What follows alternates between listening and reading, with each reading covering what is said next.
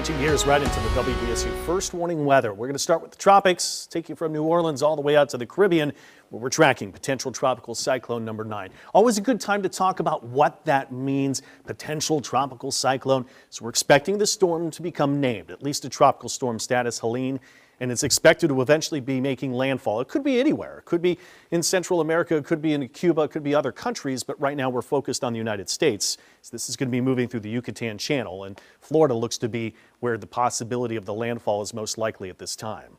Latest tracks could be Helene as soon as late tonight. That's 1 in the morning with winds up to 40 miles per hour.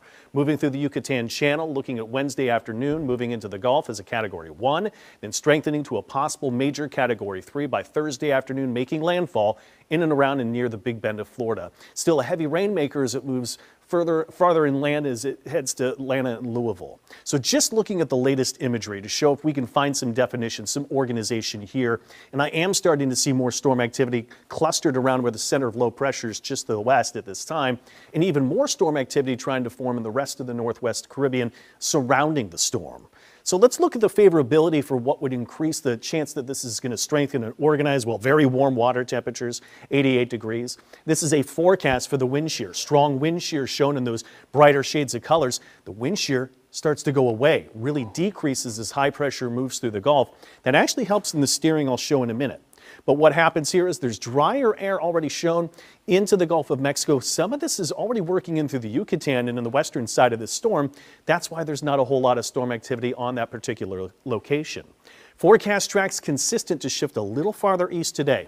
That's the official National Hurricane Track. And then this is our, what we say, ensemble data. We take a forecast and we make some changes and do it about 30 times here in the U.S. Still quite a span of forecast tracks, but generally close to that National Hurricane Center official track.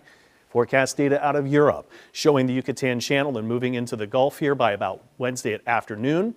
And then landfall potential here at Thursday, and this is very, very close to the center track from the National Hurricane Center. But today, the forecast here out of the U.S., yesterday was farther west, a little bit closer to New Orleans. But today, it's pushing a little farther east. Look at this. Now forecast to maybe closing in next to near Tampa.